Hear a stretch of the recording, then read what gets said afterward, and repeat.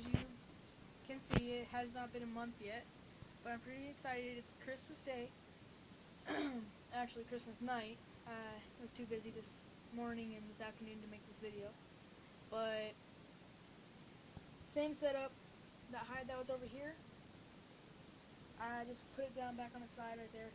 Made a new, actually made that.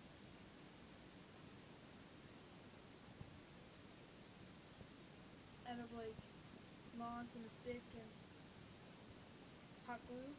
And oh, I got a new addition. And I got a new hide. The Zoo Med level hide.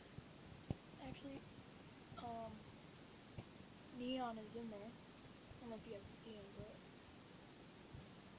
there he is. I don't know if you guys can see his head, but there's him. Then my new addition, I think, is underneath there. Oh, no. There's Zombie. Let's see. New addition, where are you?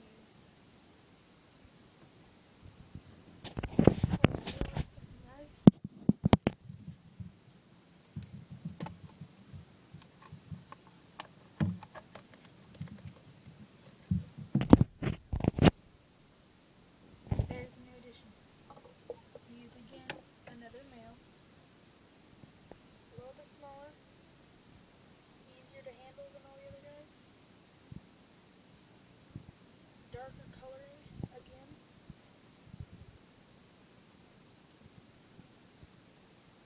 But once again,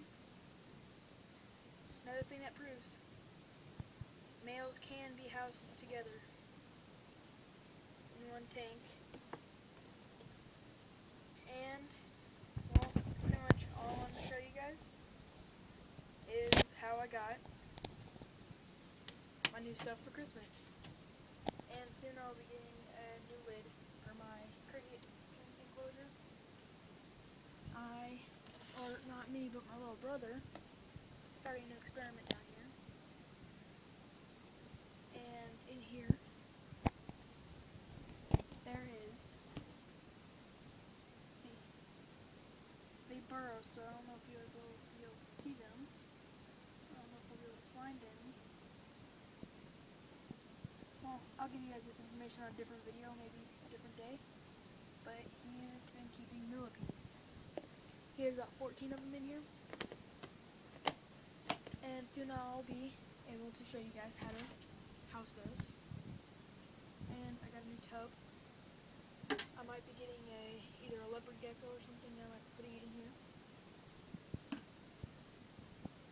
And that's about it. This is another video or another update on my banded geckos. If you have a name for them, just uh, comment on there of a good name that you think might be uh, good for him. Alright, thank you.